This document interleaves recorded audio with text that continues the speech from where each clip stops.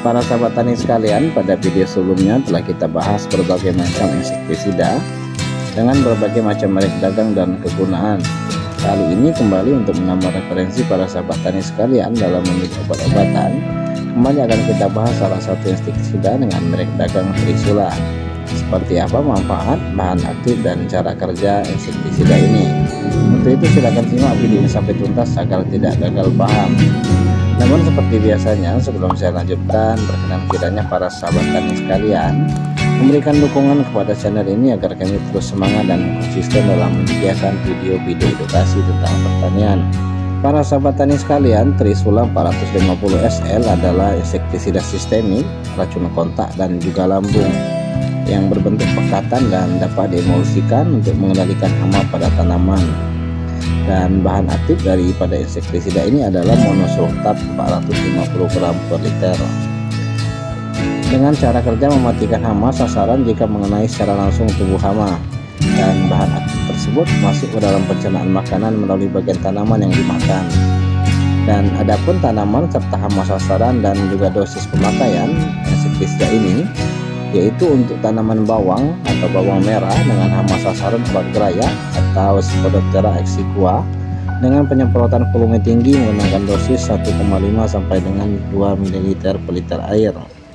Dan pada tanaman kentang dengan hama sasaran kutu, hama trips, tris palmi dan kutu putih penggorok daun serta hama-hama lainnya. Dengan penyemprotan volume tinggi menggunakan dosis 0,25 sampai dengan 0,5 ml per liter air serta pada tanaman padi dengan hama sasaran wereng coklat. Dengan penyemprotan volume tinggi menggunakan dosis 0,5 sampai dengan 1 ml per liter air. Serta hama penggeret batang dengan penyemprotan volume tinggi menggunakan dosis aplikasi 0,75 sampai dengan 1,5 ml 0,75 sampai dengan 1,5 ml per liter air dan secara umum dosis aplikasi insektisida Trisula ini yaitu antara 0,5 sampai dengan 1,5 ml per liter air.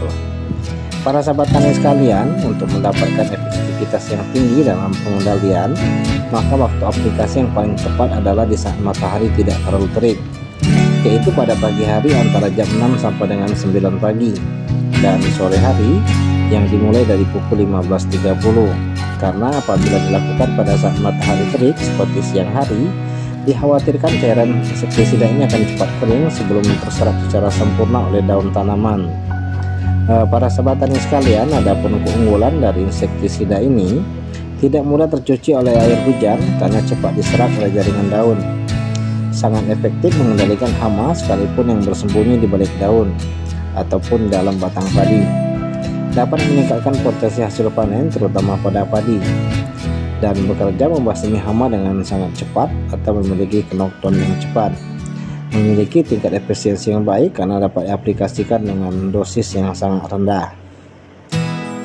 Para sahabat tani sekalian untuk mendapatkan insektisida ini cukup mudah dengan harga pada kisaran 40 sampai dengan 45.000 untuk ukuran 400 ml namun harga ini tentu akan bervariasi antar daerah karena berbagai macam faktor dan kondisi tertentu. Harga juga akan lebih murah apabila dilakukan pembelian pada toko-toko online. Para sahabat tani sekalian, demikian review singkat insektisida dengan merek dagang Trisula 450 SL. Semoga video singkat ini dapat menambah wawasan dan pengetahuan serta menambah referensi bagi para petani sekalian dalam memilih obat-obatan pertanian dan aplikasi langsung untuk mengendalikan hama sasaran menggunakan insektisida ini akan kami buat pada video-video yang akan datang. Apabila masih ada hal-hal yang masih perlu didiskusikan silahkan tinggalkan pertanyaan pada kolom komentar.